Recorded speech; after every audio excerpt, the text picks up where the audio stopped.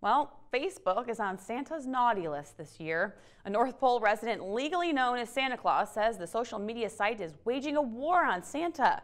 He created a Facebook page as a public figure and at one point had more than 300,000 followers. He says that number has been cut 95% by the site.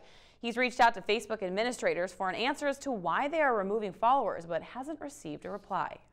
Earlier this month, which is March of 2015, I dropped 10,000 followers overnight, one night.